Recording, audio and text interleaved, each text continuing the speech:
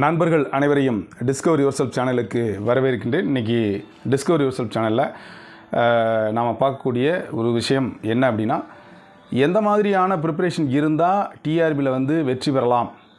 எப்படி இருக்கணும்? அந்த ப்ரிப்பரேஷன் எப்படி இருக்கணும்? அப்படின்றதுக்கான பதிவு தான்.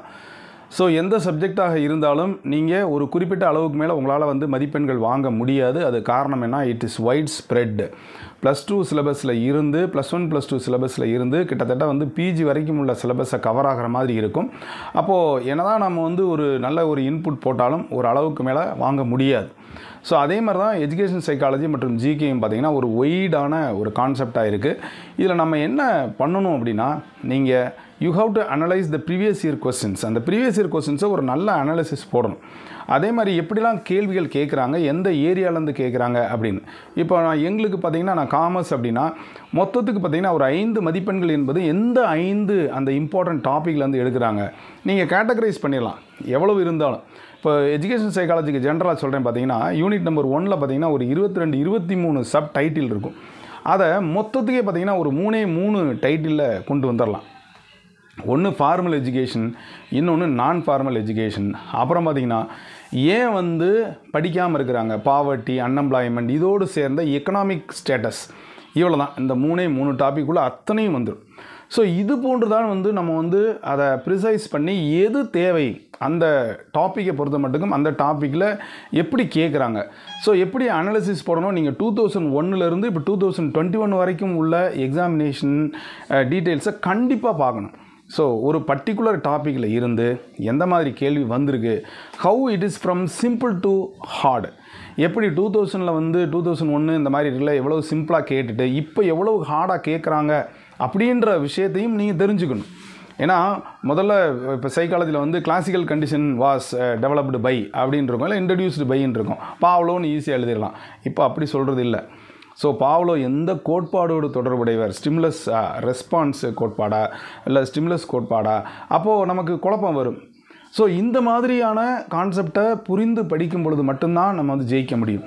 அதே மாதிரி ஜிகே எடுத்துங்க இப்போது டூ தௌசண்ட் டுவெண்ட்டி ஒன்று நான் பார்த்தேன் ஒரு ஜிகே முன்னெல்லாம் வந்து ரொம்ப எளிமையாக இருக்கிற மாதிரி இருக்கும். பட் கரெக்டாக வந்து அந்த எட்டு டாப்பிக்கையுமே பண்ணியிருக்காங்க. அப்போது சப்ஜெக்டில் உங்களுக்கு எத்தனை யூனிட் வந்திருக்கு அப்படின்றது ஒரு விஷயம் உங்களுக்கு தெரியும். அடுத்து நம்பர் டூ எஜுகேஷன் சைக்காலஜியில் உள்ள எட்டு யூனிட் இருக்குது அதில் என்ன மாதிரியான கொஸ்டின்ஸ் வரும் அப்படின்றது தெரியணும்.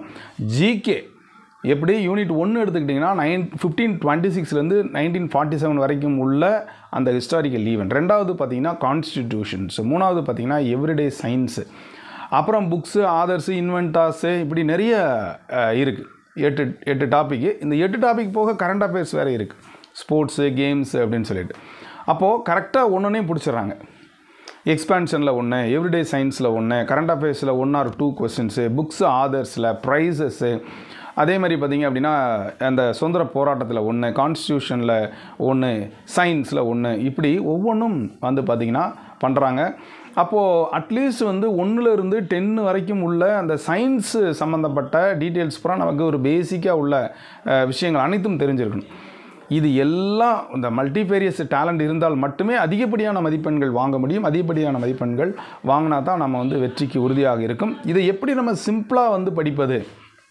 ஒரு குறுகிய வட்டத்தை வந்து நம்ம போட்டுக்கிடணும். ஸோ அந்த வட்டத்துக்குள் தான் கேள்விகள் இருக்கின்றன என்பதை நீங்கள் கண்டுபிடித்து விட்டாலே மிக எளிதாக உங்களால் வந்து வெற்றி அடைய முடியும். உங்கள் சப்ஜெக்ட்டுக்கு அது எந்த டைட்டில் வந்து ரொம்ப இம்பார்ட்டன்ட் அப்படின்னு நீங்கள் நினைக்கிறீங்களோ அதே போன்று எஜுகேஷன் சைக்காலஜிக்கும் ஜிகேக்கும் நீங்கள் பண்ணிட்டீங்கன்னா நீங்கள் எடுக்கக்கூடிய எக்ஸ்ட்ரா மதிப்பெண் எஜுகேஷன் சைக்காலஜிலையும் ஜிகே எடுக்கக்கூடிய ஒவ்வொரு மதிப்பெண்ணும் உங்களுடைய தளபதியை வந்து கண்டிப்பாக வந்து நிர்ணயிக்கும் அப்படின்னு நான் சொல்லுவேன். அப்போது நீங்கள் எப்படி வந்து எந்த சப்ஜெக்டாக இருந்தாலும் எப்படி ப்ரிப்பேர் பண்ணணும்? ஒரு பெரிய டாப்பிக்கை ஒரு சின்ன டாப்பிக்காக சொல்லுங்கள் நான் ஒவ்வொரு முறையும் அடிக்கடி சொல்கிறது உண்டு. உங்களால் ஒரு யானையை சாப்பிட முடியுமா? நான் நிறைய பேர் சொல்லக்கூடிய கொஸ்டின்ஸ் இன்னும் நான் எஸ் அப்படின்னு சொல்லுவேன். ஏன்னா நான் வந்து உங்களுக்கு டைம் சொல்லலை. இன்றைக்கே சாப்பிடுன்னு சொல்லலை. ஸோ அதை வந்து உப்புக்கண்டமாக போட்டு நான் ஒரு வருஷமோ ரெண்டு வருஷமோ ஏதோ ஒரு வகையில் வந்து நான் சாப்பிட்ட முடியும். அப்போ அந்த முடியும் என்பது தான் அப்போது வரக்கூடிய தேர்வானது எந்த தேர்வாக இருந்தாலும் நாம் முடியும் என்று மனசு வைத்தால்தான் முடியும். இல்லைன்னா கண்டிப்பாக முடியாது. ஸோ ஐ கேன் அப்படின்ற ஒரு விஷயத்தில் நீங்கள் இருக்கணும். என்னால் அது முடியும். என்னால் அந்த ப்ரிப்பரேஷன் போட முடியும். உட்காருங்க அஞ்சு நாள் ஒரு வாரம் உட்காருங்க. உங்கள் சப்ஜெக்ட்டுக்கு ஒரு அனாலிசிஸ் போடுங்க. ப்ரீவியஸ் இயர் கொஸ்டினை வச்சு எஜுகேஷன் சைக்காலஜிக்கு ஒரு அனாலிசிஸ் போடுங்க. ஜிகேக்கு ஒரு அனாலிசிஸ் போடுங்க. எப்படி கேட்குறாங்க என்னென்ன மாதிரிலாம் கேட்குறாங்க எப்படிலாம் கேள்விகள் இது வரைக்கும் வந்துக்கிட்டே இருக்குது பழசு ரிப்பீட் ஆகிருக்கா இல்லை எந்த பர்டிகுலர் டாப்பிக்லேருந்து கேட்குறாங்க அப்படின்னு நீங்கள் பண்ணிட்டீங்கன்னா ஈஸியாகவே கண்டிப்பாக இருக்கும்.